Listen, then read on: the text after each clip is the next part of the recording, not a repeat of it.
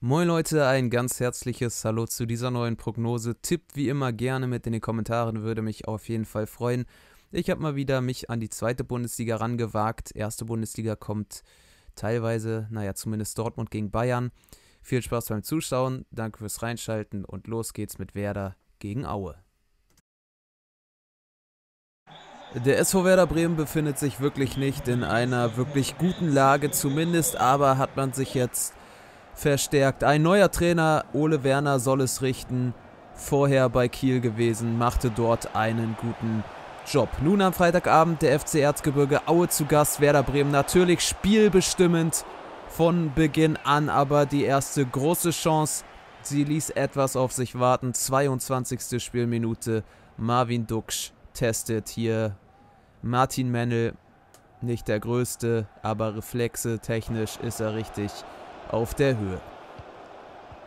Fast eine halbe Stunde gespielt. Werder Bremen wurde nun deutlich stärker und auch Abschluss gefährlicher. Füllkrug Schmid. Romano Schmidt scheitert aber am Pfosten. Tolle Kombination hier mit Niklas Füllkrug.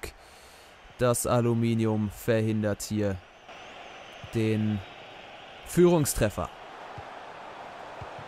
Von den lila Veilchen kam viel zu wenig.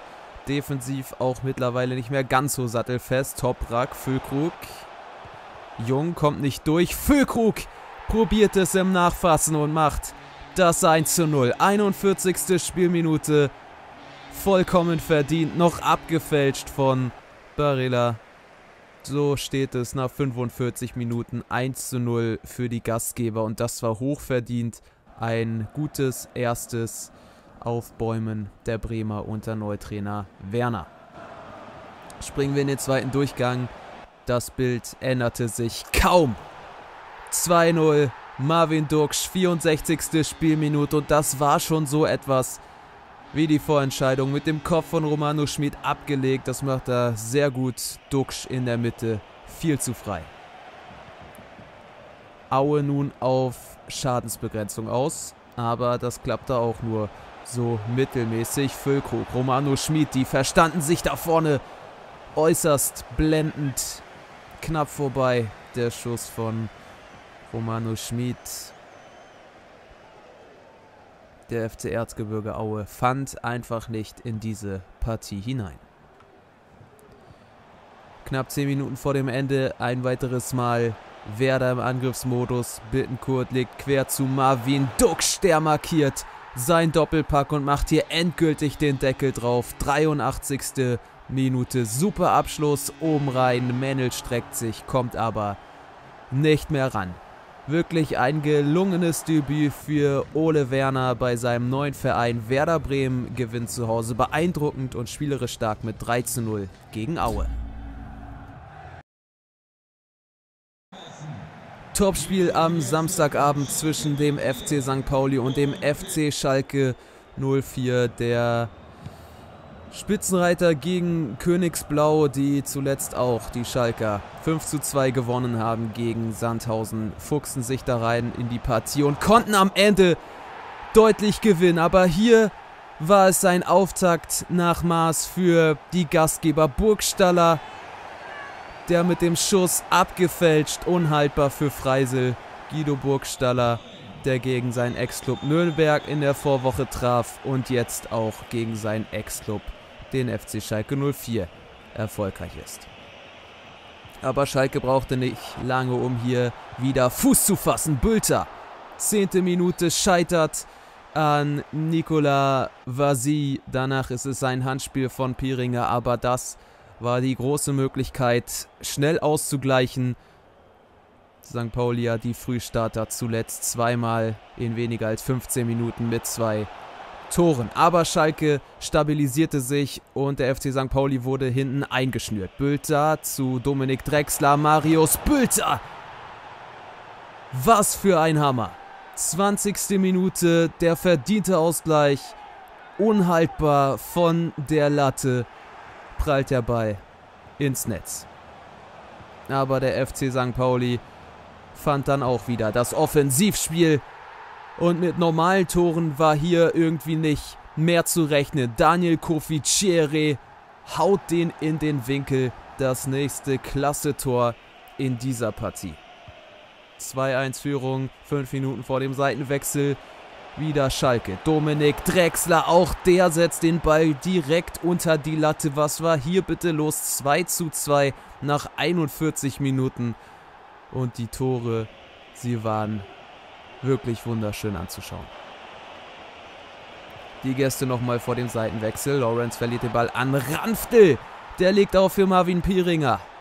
Der Tirode-Vertreter macht vor dem Seitenwechsel noch den Führungstreffer. Pieringer, der sein erstes Zweitligator in der Vorsaison für die Würzburger Kickers auch gegen den FC St. Pauli erzielte, macht hier die erste Führung klar für Schalke an diesem Samstagabend. Durchgang Nummer 2. Die Offensive beim FC St. Pauli natürlich richtig gut aufgelegt. Mit breiter Brust, hohem Selbstbewusstsein. Hier ist es mal wieder Guido Burgstaller, der aber knapp vorbeizieht.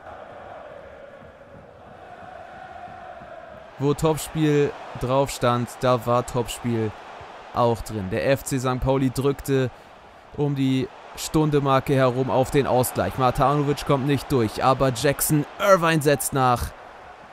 Freisel dann aber ohne Probleme. Schalke zog sich zurück, machte nicht mehr so viel nach vorne. 70. Minute dann mal wieder was. Marvin Piringer zu Bülter, der auf Ove Jan, dem besten Vorbereiter der Liga. Bülter und Piringer. 2 zu 4, 71. Minute. Die Entscheidung in dieser Partie.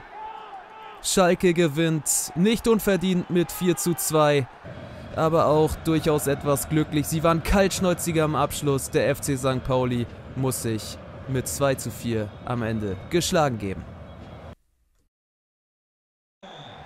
Die Leistungskurven dieser beiden Mannschaften, Hannover 96 und dem Hamburger SV, sie könnten nicht unterschiedlicher verlaufen. Hannover 96 ganz unten drin, der HSV klopft oben an und ist in den letzten Spielen richtig gut drauf und macht jetzt auch aus seinen Chancen endlich mal seine Tore. Und auch hier die Rautenelf, die bessere Mannschaft zu Beginn. Glatzel, Du, Robert Glatzel kommt nicht durch, Ali Du setzt nach. Muroya schmeißt sich mit allem rein was er hat. Elfte Spielminute. Alidu ist aber ja sowieso der Shootingstar aktuell. Hier verpasst er es. Ist aber auch nicht leicht zu nehmen aus der Situation. Hannover 96 verschlief ein wenig die Anfangsphase, kam ohne Gegentor raus und dann auch mal nach vorne selber aktiv. Kerk scheitert erst noch an Johansson. Der zweite sitzt dann aber. 20. Minute 1 zu 0 für die Niedersachsen doch etwas überraschend zu diesem Zeitpunkt. Der erste Torschuss, der sitzt gleich. Der HSV aber erstmal unbeeindruckt. Robert Glatzel zu Bakary Jatta, Kittel zu Glatzel. Pfostenpech für den HSV. Das 1 zu 1 wäre natürlich verdient gewesen. Es ging aber mit diesem Klappenrückstand aus Sicht des HSV erstmal in die Halbzeit. Wir springen in den zweiten Durchgang. Freistoß aus dem Mittelfeld. Kerk bringt den nach vorne. Kopfball Lukas Hinterseher. Der Ex-Hamburger noch unauffällig an diesem Sonntagnachmittag das ist ein Verlegenheitskopfball, der nicht wirklich gefährlich wird. Über eine Stunde gespielt. Hannover 96 verdiente sich den Vorsprung so ein bisschen im Nachhinein. Wurden gefährlicher. Bayer und Ondua mit dem Kopfball aus 12, 13 Metern. Der war nicht so ungefährlich. Kittel steigt eigentlich deutlich höher, aber kommt nicht ran, weil Ondua besser steht. Der Ball geht dann vorbei. Langsam wurde die Zeit auch knapper für den HSV. Ali Du, starker Pass zu Glatzel. Hansen mit der Parade, dann ging aber auch die Fahne des Assistenten hoch. Viel war das nicht.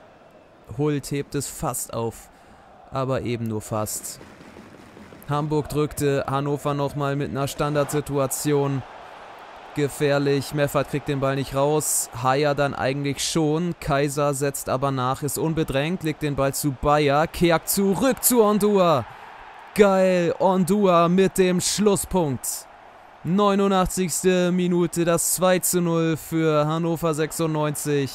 Johansson kommt nicht mehr ran und kann die Niederlage nicht verhindern. Ein ausgeglichenes Spiel, in dem Hannover die besseren Abschlüsse hatte, gewinnen die Gastgeber mit 2 zu 0. Jo, das soll es mit dieser Prognose gewesen sein. Zweite Liga. Ich hoffe, es hat euch mal wieder gefallen. Ansonsten bleibt gesund. Bis zum nächsten Mal. Adios.